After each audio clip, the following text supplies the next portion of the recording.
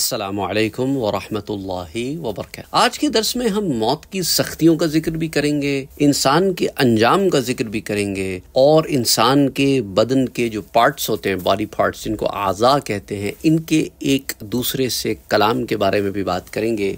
या इनके कलाम के बारे में बात करेंगे, इनके बातचीत के बारे में, कहते क्या हैं? अब आइए आगाज़ करते हैं कि मौत की सख्ती के मुतालिक अल्लाह सुबहाना व ताली कुरान करीम में क्या फरमाता है? सूर्य काफ में फरमाता है कि वजात सकरतुल मौत बिलहक और आई मौत की सख्ती हक के साथ। फिर सूरत अनाम में फरमाता है कि वलौ तरा फ़ी मौत। और कभी तुम देखो जिस वक्त जालिम मौत की सख्तियों में। फिर सूरत वाक़या में फरमाता है कि फलौला इदा बलगतिल हुलकूम, फिर क्यों ना हो जब जान गले तक पहुँचे। और सूरतुल क़यामा में फरमाता है, कल्ला इदा बलगत तराकिया हाँ हाँ जब जान गले को पहुँच जाएगी। ये वो चार मुकाम हैं जहाँ पर मौत की सख्तियों के बारे में अलामतन ज़िक्र है या कुछ और अल्फाज के साथ ज़िक्र है। इमाम बुखारी, हज़रत आयशा सिद्दीक़ा रदी अल्लाह तहा से हदीस बयान फरमाते हैं कि उन्होंने फरमाया कि हुजूर सल्लल्लाहु अलैहि वसल्लम के सामने पानी का एक बर्तन था जिसमें आप हाथ डालकर अपने चेहरे मुबारक पर लगाते थे और फरमाते थे कि अल्लाह सुबहाना व ताली के अलावा कोई मबूद बरहक नहीं।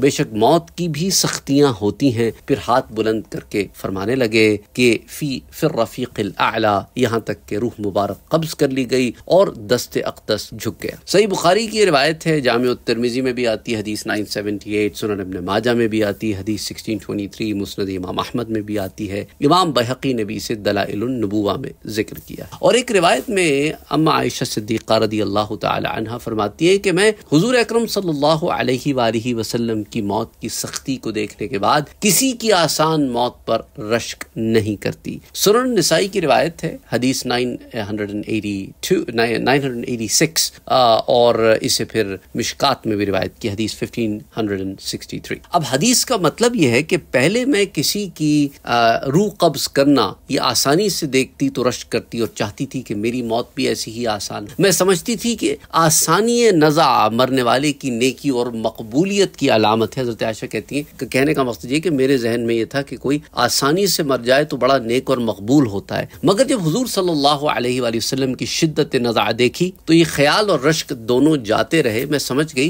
कि सख्ती जो होती है मौत के वक्त, ये भी कोई अच्छी चीज़ है, बुरी चीज़ नहीं है। और इस पर फिर हम तफसीला बात करेंगे कि अम्बिया की जब वफात होती है तो उसके अंदर जो सिचुएशन है, उस पर और फिर मुख्तलिफ़ वाकयात उसमें देख। सही बुखारी की हदीस में की तरफ़ आते हैं कि उमुलमिन हज़रत आयशा सिद्दीक़ा रदी अल्लाह तहा फरमाती बयान करती हैं कि हजूर अलैहि की वफात मेरे सीने और थोड़ी के दरमियान वाक़ हुई और मैं हजूर वसल्लम के बाद किसी शख्स पर मौत की सख्ती को कभी नापसंद नहीं करूँगी। सुनन निसाई में भी ये रिवायत आती है मुस्ंद इमाम अहमद में भी आती है। तो बज़ाहिर अगर किसी को आप मौत की सख्तियों में देखें तो ये ज़रूरी नहीं है कि उसके अमल के बारे में आप कोई फैसला कायम कर लें। इबन मुसनफ़ इबन अभी शैबा में एक रिवायत आती है, हज़रत जाबिर बिन अब्दुल्ला से। वो बयान करते हैं कि हजूर अक्रम सल्लल्लाहु अलैहि वसल्लम ने फरमाया कि बनी इसराइल के वाकयात बयान किया करो, क्योंकि इनमें अजब अजब बातें हुई। तिरमिजी शरीफ की रिवायत, हदीस टू सिक्स सिक्स नाइन मुस्ंद इमाम अहमद में भी आती है, सही इबन हिब्बान में भी हदीस आती है, और अलमकासदुलहसना में भी हदीस थ्री नाइनटी सिक्स आती है। फिर आप सल्लल्लाहु अलैहि ने फरमाया कि बनी इसराइल की एक जमात कब्रस्तान में गई, और उन्होंने मशवरा किया कि दो रकात पढ़कर अल्लाह से दुआ करनी चाहिए कि वो किसी मुर्दा को ज़िंदा कर दे, जो हमको मरने के बाद के हालात बताए। चुनाचे वो इस अमल में मसरूफ थे कि अचानक एक सियाह फाम शख्स ज़ाहिर हुआ, इसकी पेशानी पर सजदों के निशानात थे। इसने कहा कि लोगों, तुमने मुझको क्यों परेशान किया? मुझको मरे हुए सौ बरस, सौ साल हुए हैं, लेकिन मौत की तपिश अब तक महसूस कर रहा हूँ। तो अल्लाह से दुआ करो कि वो मुझको पहली हालत पर लौटा दे, यानी फिर मुझे मौत दे दे। हज़रत अनस रज़ी अल्लाह तु बयान करते हैं कि हजूर सल्लल्लाहु अलैहि वसल्लम ने फरमाया कि इंसान जब मौत की तकलीफ़ और इसकी मदहोशी से दो चार होता है तो उसके आज़ा जो होते हैं, उसके बॉडी पार्ट्स जो होते हैं और उसके जोड़ जोड़बंद जो होते हैं, वो एक दूसरे को इन अल्फाज में सलाम कहते हैं कि तुम पर सलामती हो, तुम मुझसे और मैं तुमसे कयामत के लिए जुदा हो रहा हूँ। तो ये आपस में बॉडी पार्ट्स की कॉन्वर्सेशन हो। उन्हें पता होता है बॉडी पार्ट्स को भी कि बस अब कयामत के तक हम में जो ताल्लुक था वो ख़त्म हुआ जाता है, लेकिन इन क़यामत में फिर जुड़ जाएगा। और इसे फिर अहयालूम में इमाम गजाली ने ज़िक्र किया है, जिल चार सफ़ा फोर सिक्सटी थ्री पर। और अल जाम कबीर में हदीस one thousand two hundred and twenty four के तहत ये रिवायत आती है। अच्छा मुहासबी ने अर्रया में ज़िक्र किया है और इसे फिर इबन जोजी ने अलमौदुआत की जिल्द तीन सफ़ा दो सौ बीस पर कि हज़रत इब्राहिम सलाम का जब विसाल हुआ तो अल्लाह सुबहान वाली ने इरशाद फरमाया कि अय खलील, तुमने मौत को कैसा पाया? हज़रत इब्राहिम सलाम ने अर्ज़ किया कि, जैसे गर्म सीख गीली ऊन में डाली जाए और फिर उसको खींचा जाए, हुक्म हुआ कि बेशक हमने आप पर मौत को आसान फरमा दिया है। और रिवायत है कि हज़रत मूसा सलाम की रूह जब अल्लाह सुबहान तला के पास हाजिर हुई तो अल्लाह सुबहान तला ने पूछा कि अय मूसा, तूने मौत को कैसे पाया? अर्ज़ किया कि, मैंने अपने नफ्स को ऐसा पाया जैसे ज़िंदा चिड़िया को देगची में छोड़ दे, कि ना तो मरती है, कि ना छुटती है, ना रिहाई मिलती है, कि उड़ जाए। और एक रिवायत में यूँ कि, मैंने अपने नफ्स को ऐसा पाया जैसे ज़िंदा बकरे की खाल कस्साब के हाथ से उतरे। हज़रत ईसा सलाम ने फरमाया कि आए हवारी तुम अल्लाह से दुआ किया करो कि वो तुम पर मौत की सख्ती को आसान कर दे। एक रिवायत है कि मौत तलवार की जरब से आरों के चीरने से और कैंचियों के काटने से ज़्यादा सख्त है। हाफिज अबू नुआम ने हलियतुलौलिया में ज़िक्र किया है कि इब्न अस्का रदी अल्लाह तु फरमाते हैं कि हुजूर सल्लल्लाहु अलैहि वसल्लम ने फरमाया कि मुझे कसम है उस जात की जिसके कब्जा कुदरत में मेरी जान है, मलकुल मौत की असली सूरत को देख कर बर्दाश्त करना तलवार की हज़ार चोटों से ज़्यादा सख्त है। हलियतुलौलिया जिल्द नंबर पाँच सफ़ा वन एटी सिक्स तारीख बगदाद, जिल्द तीन सफ़ा टू फिफ्टी टू इब्न जोजी अलमौदुआत, जिल्द तीन सफ़ा दो सौ बीस और दाइफ अलजाम रकम फोर सेवन सेवन सेवन इसी तरह हज़रत अनस बिन मालिक रज़ी अल्लाह तु बयान करते हैं कि हुजूर सल्लल्लाहु अलैहि वसल्लम ने इरशाद फरमाया कि मरने वाले इंसान को फरिश्ते अपनी बाहों में लेकर काबू किए रखते हैं और न वो मौत की सख्तियों से, वरना जंगलों और सहराओं की तरफ़ भागता फिरे। इतनी सख्त होती है मौत अगर फरिश्ते न पकड़े। और काजी अबू बकर इबन अरबी से रिवायत है कि मलकुल मौत को जब तमाम मखलूक की रूहें कब्ज करने के बाद अपनी जान निकालने का काम सुपुर्द होगा तो वो मौत की सख्ती को महसूस करेंगे और अर्ज़ करेंगे कि अः खुदा, मुझे तेरी इज़्ज़त की कसम, अगर मुझे मौत की सख्ती का इल्म होता तो मैं किसी मोमिन की जान ना निकाल। और शार बिन हौशब बयान करते हैं कि हुजूर सल्लल्लाहु वसल्लम से मौत की सख्ती के बारे में सवाल किया गया। तो आपने फरमाया कि बेशक मौत की आसान तकलीफ़ की मिसाल यह है कि कोई शख्स कांटेदार शाख को ऊन में डाले और फिर इसे खींचे तो इस शाख के साथ ऊन भी निकल आएगी। अहयाउलूम की जिल्द चार सफ़ा फोर सिक्सटी टू दाइफ जाम हदीस एटीन फोर्टी टू। तो गोया इसी तरह नजा और जाकुनी के वक्त हर हर रग में कांटे चुभते हैं और इनके साथ रूह निकलती है। शार बिन हौशब से मरवी है कि जब हज़रत आमर इबन आस रज़ी अल्लाह तहु की वफात का वक्त करीब आया तो उनके बेटे ने इनसे कहा कि, अब्बा जान, आप कहा करते थे कि कोई अक्लमंद इंसान मुझे नजा के आलम में मिल जाए तो मैं इससे मौत के हालात दरियाफ्त करूँ। तो आपसे जायद अक्लमंद कौन होगा? बरए मेहरबानी, अब आप ही हमें मौत के मुतालिक बताइए। तो आपने फरमाया कि अल्लाह की कसम ए बेटे ऐसा मालूम होता है कि मेरे दोनों पहलू एक तख्त पर हैं और मैं सुई के नाकों के, के बराबर सुराख से सांस ले रहा हूँ और एक कांटेदार शाख मेरे कदम की तरफ़ से सर की तरफ़ जाने खींची जा रही है। फिर उन्होंने उसके बाद एक शेर पढ़ा कि लई तनी कुन तो कबला मा कद बदाली फ़ी वाउला कि काश अगर मुझे पहले से इस मौत की सख्ती का इल्म होता। तो मैं दुनिया के फितनों और आलाइशों से किनारा कशी इख्तियार करते हुए पहाड़ों की चोटियों पर निकल जाता और बकरियाँ चराता इसलिए काफ़ी थिलाल और इबादत में ज़िंदगी गुजार। हज़रत मैसरा से मरफुआन रिवायत है, वो बयान करते हैं कि हुजूर सल्लल्लाहु वसल्लम ने फरमाया कि अगर मौत से दो चार होने वाले के एक बाल की तकलीफ़ और दर्द को तमाम आसमानों और ज़मीन वालों पर रख दिया जाए तो सब मर जाए। अहियाउलूम की जिल चार सफ़ा फोर सिक्सटी थ्री। और किसी शायर ने भी इस ज़मीन में क्या खूब कहा कि मुझे मौत की याद दिलाई जाती है वला अरहबा। मगर मेरे कान पर जूते नहीं रेंगती। यकीनन मेरा दिल पत्थर की तरह सख्त हो चुका है। न भी लगली तो कल हजल मतलब दुनिया का अन्य खालिद मैं दुनिया की लगन में इस मगन हूँ कि गोया मुझे दुनिया में हमेशा रहना है। वरा यकफ बिल हालाँकि मौत साय की तरह मेरे पीछे लगी और मेरे कदम पर कदम रखी आ रही है। वह कफ़ा बिलमौत फ़ालम वाहिदा। यकीन कीजिए कि जिसके लिए मौत का आना मुकर हो, उसके लिए तो डर सुनाने और नसीहत करने को मौत ही काफ़ी अलीमत कद कदर। और फिर फरमाता है, शायर कहता है, शायर, मौत इंसान के चारों तरफ़ घात लगाए बैठी हैं कि किसी जी रूह का इनके चुंगल से बच निकलना मुमकिन नहीं। अल्लाह सुबहाना हुआ ताला हमें तोफ़ी अता फरमाए कि हम मौत की सख्तियों से बचें और अल्लाह हम पे ख़ास रहम फरमाए और हमारे लिए आखिरी वक्त आसान फरमाए, क्योंकि फिर लोगों के जहन में यही बात आती है कि मौत की सख्ती भी है। फिर ये भी कहा कि मोमिन की रूह तो ऐसे निकलती है जैसे मुश्किज़ें को उडेल दिया जाए तो कतरा कैसे छलक के बाहर आ जाता है। तो ये मौत की उन सख्तियों का ज़िक्र है जो होती हैं, लेकिन अल्लाह अपने बंदों के लिए उन सख्तियों को आसान फरमा देता है। तो उस बंदाए मोमिन के ऊपर वो मामला ऐसे हो जाता है, जैसा कि एक मुश्किजे को उलट के तुमने उसमें से कतरा बाहर को निकाल। लेकिन अगर ये कर्म ना हो अल्लाह का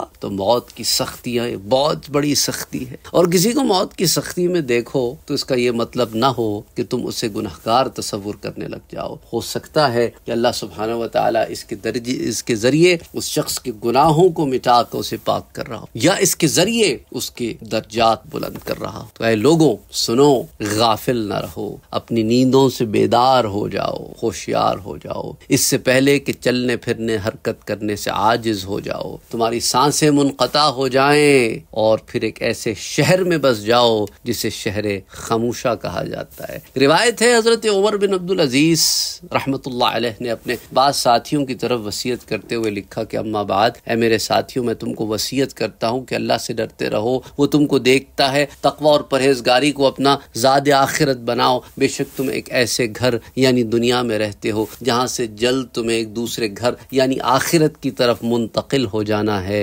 क़यामत के दिन मैदान महशर में अल्लाह सुबहान व ताली तुमसे खजूर की गुठली के छिलके का भी हिसाब लेगा। ए अल्लाह के बंदो, अल्लाह से डरो, अल्लाह से डरो, मौत को याद किया करो, जिसके बगैर चारा नहीं है। और अल्लाह का फरमान सुन लो, वो इरशाद फरमाता है कि कुल्लु नफ्सिन मौत, हर जान को मौत का मज़ा चखना है।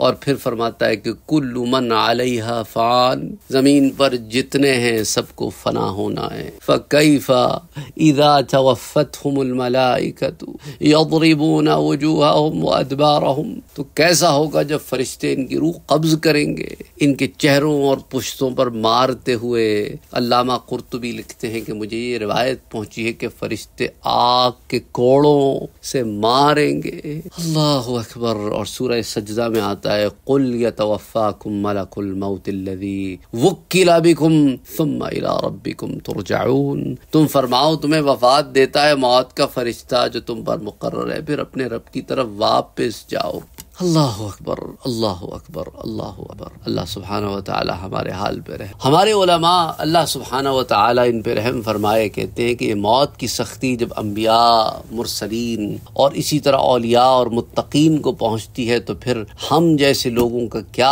होगा जो आखिरत की याद से गाफिल और मौत की तैयारी के सिलसिले में बहुत पीछे कुल इनसे फरमा दीजिए कि वो बड़ी खबर है, हुआ नबा अजीम तुम अन तुम इससे गफलत में हो।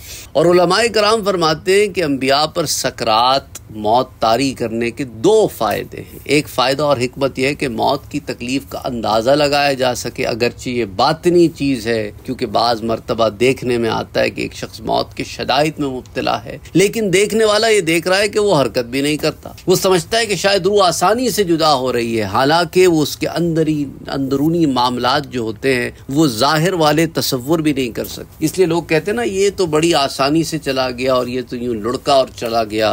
क्योंकि हम ज़ाहिर देखते हैं, हम बातें नहीं देख सकते और मौत का मामला रूहानी मामला है, ये जाहिरी मामला नहीं है। क्योंकि रूह मलाइका को देखती है और हम मलाइका को नहीं देख सकते। वो जो देखती है, वो आपसे बयान नहीं कर सकती। क्योंकि वो जो देख रही होती है, वो उसमें महव होती है, उसमें गुम होती है। तो इसलिए वो कैफियत बयान नहीं की जा सकती। इसलिए ज़ाहिर में आप समझते हैं कि मामला तो आसान हो गया। आपको खबर ही नहीं कि वो मामला क्या हुआ। इसलिए तो इन रिवायात से हम गुजर रहे हैं ताकि कुछ कुछ फहम हो कि वो मामला आखिर होता कैसा। अल्लाह आसानियाँ पैदा फरमाया आमीन आमीन आमीन। एक फ़ायदा ये है कि बसा औकात बाज लोगों के जहन में ये बात खटकती है कि ये हजरात अल्लाह के महबूब और उसके नबी और रसूल हैं। फिर इन पर बवक्त मौत इतनी सख्ती क्यों? हालाँकि अल्लाह इस बात पर भी कादिर है कि इन तमाम नफूस कुदसिया पर इस सख्ती को नर्म और सहल फरमा दे, जैसा कि हज़रत इब्राहिम के वाक़े में अल्लाह फरमाता है कि लेकिन इब्राहिम, हमने आप पर इसको आसान फरमा दिया है। इसका जवाब ये उलमा ने दिया कि अल्लाह के महबूबों और प्यारों के हक़ में मौत की सख्ती फ़जाइल और कमालत की तकमील और दर्जात की बुलंदी के लिए होती है। ये कोई आदाब और नुख्स नहीं है, बल्कि हदीस शरीफ में आता है। दुनिया में सबसे जायद आजमाइश अम्बिया की हुई फिर जो इनके जितना करीब होता, उसी के हिसाब से उसकी que as आजमाइश होती। तिरमिजी शरीफ की रिवायत है हदीस टू थ्री नाइन एट इबन माजा भी इसे रिवायत करते हैं हदीस टू थाउज़ेंड ट्वेंटी फोर और मुस्तद इमाम अहमद में भी आती है सही इबन हिब्बान में भी आती है अलमुस्तरक में भी आती है। सुनन उद्दारमी में मुश्किल आसार में अलबहकी में हलियतुलौलिया में आम, इसी तरह सिलसिलतुसहीहा में सही अलजाम में कई कुतुब में ये रिवायत आती है। और फिर इनके बाद जितना किसी को इनसे कुर्ब होगा और इनके बाद जो बुज़ुर्ग होगा और फिर इनके बाद जो हुए इला आखिरी अल्लाह उनसे राज़ी होने और इन पर इनाम इनाम फरमाने के बावजूद, और ये कि वो सख्ती, इस सख्ती को नरमी, आसानी और तखफीफ में भी तब्दील फरमा सकता है, लेकिन वो चाहता है कि इन हज़रत महबूबीन के फ़जाइल व कमालत व दर्जात की तकमील फरमा दे। इनको आजमाइशों में सुरखरू करके आला मकाम पर फाइज फरमा दे, और इस सख्ती और आजमाइश के ज़रिए इनके मरातब को और बुलंद और इनके अजर सवाब को और अजीम फरमा दे। जैसा कि इब्राहिम की आग से आजमाइश और मूसा को खौफ और सफ़रों से आजमाइश और का इम्तहान सहराओं और चटियल मैदानों में, लकदक सहराओं को तय करने में और हमारे आका हजूर अक्रम सल्लल्लाहु अलैहि वसल्लम की आजमाइश दुनिया में फ़ख्र से और कुफ़ार के साथ जिहाद से और इससे कोई ये ना समझे कि अल्लाह ने अपने अम्बिया और महबूब बंदों पर गुनागारों और नाफरमानों की बनस्बत जायद सख्ती इस बिना पर फरमाई ये कोई इन मुक़दस हस्तियों के हक़ में अकूबत या इनके किसी नाउज़बिल्ला नाउज़बिल्ला किसी अमल पर मुआखज़ा है अस्तफ़िरल्लाज़ीम बल्कि ये तो इसलिए है कि अल्लाह इनके दर्जात को और बुलंद फरमाना चाहता अगर कोई ये सवाल करे कि क्या सकरात मौत की चाशनी सारी मखलूक को चखनी होती है तो इसका जवाब यह है कि हाँ सबने मौत का जायका चखना। किसी ने क्या खूब अशार लिखे हैं इस बारे में कि अम्बिया को भी अजल आनी है, लेकिन ऐसी कि फ़कत आनी है, फिर इसके बाद इनकी हयात मिसल सबक वही जिस्मानी है। रूह तो सबकी है ज़िंदा। इनके जिस्म पर नूर भी रूहानी है। इसकी अजवाज को जायज़ है निकाह। इसका तरका बटे जो फानी है। यानी अम्बिया की अजवाज को निकाह नहीं है। कोई अम्बिया की अजवाज से निकाह नहीं कर सकता। अम्बिया का तरका नहीं होता। तो बहरहाल अम्बिया का तो हाल ही जुदा है। और ये तमाम बरगुजीसा फरिश्ते अल्लाह के पास बहुत बुलंद मुकाम और मरतबा रखने के बावजूद मौत का मज़ाक चखेंगे। और इनको जो बारगाह खुदाबंदी में कुर्ब हासिल है, वो इन्हें मौत से नहीं बचा सकते। इब्न कसी लिखते हैं कि जिस तरह इन मखलूक़ात जो मुख्तलिफ़ आलमों और जहानों में हैं, इनके तरीक़े और उनकी राहें मुख्तलिफ़ और जुदागाना हैं। इसी तरह मौत की सख्ती और इसका एहसास करने में भी इनके दरमियान फ़र्क है। आलम रूहानी वालों का एहसास भी रूहानी तौर पर होता है। जिस तरह सोने वाला शख्स जब ख्वाब में कोई डरावनी चीज़ देखता है तो रंज अलम और तकलीफ़ महसूस करता है और जागने तक इसी तरह की दर्द की कैफियत में रहता है। और एक इसतराब और बेचैनी का एहसास होता है लेकिन जब जाग जाता है तो फिर वो परेशानी ख़त्म हो जाती है, बेचैनी चली जाती है। और वो अमान और राहत में आता है। चुनाचे आलम बाला की कुदसी सिफात, रूहानी मखलूक का एहसास तकलीफ़ ऐसे ही है, जैसे ख्वाब और नींद के अंदर कोई तकलीफ़ महसूस करे। ये महज वहम ख्याल की हद तक होता है। और दूसरा, आलम जीरी और सिफली दुनिया के मखलूक जैसे इंसान और जन्नात हैं, इनका मौत के सकरात और बेहोशियों की तकलीफ़ और सख्ती का दर्द महसूस करना ऐसा है कि इसको बयान नहीं किया जा सकता। ये तो वही जान सकता है जो इससे गुजरे, क्योंकि एक रिवायत में आता है कि जान निकाले जाने के वक्त इंसान को जो तकलीफ़ होती है, वो तलवार की एक हज़ार चोटों से ज़्यादा सख्त फिर इसको क्यों कर बयान किया जा सकता? फिर इस एहसास तकलीफ़ में भी मखलूक के मुख्तलिफ़ गिरोह हैं, जिसमें वो अपने दर्जात और मरातब के मुख्तलिफ़ होने की वजह से जुदा जुदा हुक्म रखते हैं। पहले तो मोमिन और गैर मोमिन, यानी मुसलमान और काफिर का फ़र्क है। फिर अहले इस्लाम में अम्बिया और उनके पैरोकारों में फ़र्क है कि इन दोनों के सकरात मौत और इसके शदायत आलाम के एहसास में वही कुछ फ़र्क है जो खुद एक नबी और उसकी उम्मती और पैरोकार के मरतबे और मुकाम में फ़र्क है। फिर आगे अम्बिया में इनके मकाम के फ़र्क की वजह से सब हजरात के एहसास एक जैसे नहीं हैं। इनमें भी फ़र्क है क्योंकि अम्बिया के दर्जात मकाम और फ़जाइल कमालत ये मुख्तलिफ़ हैं। जैसे कुरान में अल्लाह फरमाता है कि तिलकर रसूल फ़ल ना बाद ये रसूल हैं कि हमने इनमें एक दूसरे पर फजीलत दी है बास को बास पर। तो इनकी फजीलतें एक दूसरे से जुदा हैं, यानी अम्बिया के मरातब जुदागाना हैं। बाज से बाज अफजल हैं, अगरचे नबूत में कोई फ़र्क नहीं, सारे अल्लाह के नबी हैं, सारे अल्लाह के जो रसूल हैं, लेकिन उनमें आपस में एक दर्जा बंदी है जो अल्लाह जानता है। अल्लाह जो अपनी ज़ात और सिफात में हर ऐब से पाक है, उसने अपने खलील की शान में फरमाया कि इब्राहिम,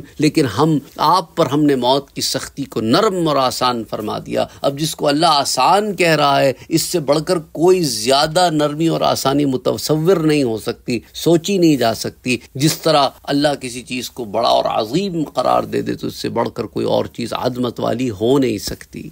मसलन अल्लाह फरमाता है जन्नत की नेमतों के बारे में कि वह इज़ा रईत रईत नईम व मुल्कन कबीरा, और जब तुम देखे, जब तू देखे, और फिर देखे कि नेमतें और बड़ा मुल्क। अब ये बड़ा कितना है, अल्लाह जानता है। इसी तरह दोस्त और खलील की मौत से बढ़कर आसान और नर्म और सहल मौत किसकी होगी? क्योंकि दोनों बातें फरमाने वाला एक रब ताला है और वही बेहतर जान। बिलाशक मौत एक बहुत अलमनाक मामला और सख्त अम्र है और मौत के प्याले का जायका नहायत ही ऐसा है कि बस जिस पे गुजरे वो जाने, कोई बयान नहीं कर सकता। अल्लाह सुबहाना व सब पर आसानियाँ सब पर आसानियाँ सब पर आसानी। बात अभी जारी है फिर इन ताला इस मामले पे और बात। अस्सलाम वालेकुम व रहमतुल्लाहि व बरकातहू।